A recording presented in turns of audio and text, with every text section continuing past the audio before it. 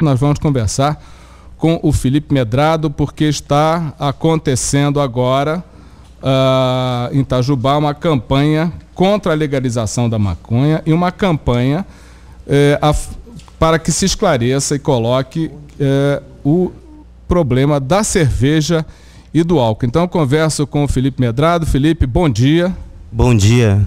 Felipe, vamos explicar um pouquinho dessa campanha. Está, está acontecendo nesse momento um abaixo assinado? Isso, está acontecendo um abaixo assinado é, lá no Calçadão, né?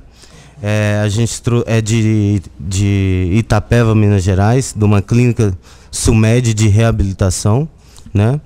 E a gente veio trazer sobre o congresso do Augusto Cury, Free Mind, né? Mentes Livres. Uhum. É, que ele lá ele sugeriu para a gente fazer um grande abaixo assinado para não legalização da maconha, né? E, pra, e também abriu brecha ali para concordar que cerveja é álcool, né? Mas é, como é que é, existe essa questão? Bom, uma campanha contra a legalização da maconha já está rodando há algum tempo. Agora, essa campanha, da, é, pelo esclarecimento de que cerveja é álcool, Uh, então, isso significa que uh, existe ainda essa diferenciação. A cerveja não é tratada como bebida alcoólica? Existe, infelizmente existe. E a gente sabe o quê? Que o álcool é, é, droga. É, é, droga e é a porta de entrada para as outras drogas, verdade, né? É verdade. Então, assim, fácil acesso, barata e está em todo lugar, né? É, as propagandas em si estão divulgando, então esse abaixo assinado é justamente para isso para falar que álcool é droga, né? Que a cerveja é álcool e ela é droga e que não pode ser é, é, publicada assim como está sendo. Pois é, exatamente. A campanha, só para esclarecer, não é contra a cerveja. Não. É para que se esclareça e se enquadre a cerveja como bebida alcoólica. Correto, é correto. E a, a, o abaixo assinado também é contra a legalização da maconha. Agora, é um abaixo assinado só, incluindo os dois itens, ou são abaixo assinados diferentes? Não, são um, um abaixo assinado incluindo os, os dois, dois itens. itens. E esse abaixo assinado está sendo feito agora na praça? Na praça.